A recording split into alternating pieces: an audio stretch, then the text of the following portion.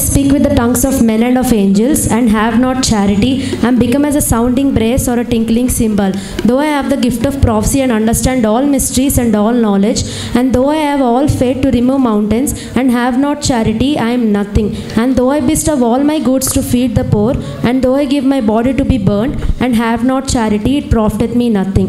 Charity suffereth long and is kind. Charity envieth not. Charity wanteth not to itself, is not puffed up, doth not behave itself yourself unseemly seeketh not her own, is not easily provoked, thinketh no evil, rejoiceth not in iniquity, but rejoiceth in truth, beareth all things, believeth all things, hopeth all things, endureth all things.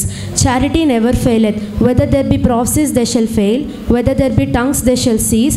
Whether there be knowledge, it shall vanish away. For I know in part, and I prophesy in part. But when that which is perfect is come, then that which is in part shall be done away.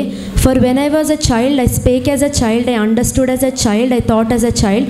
But when I became a man, I put away childish things. For now I see through a glass darkly, but then face to face. Now I know in part, but then shall I know even as also I am known. And now abideth faith, hope, charity, these three, but the greatest of these is charity.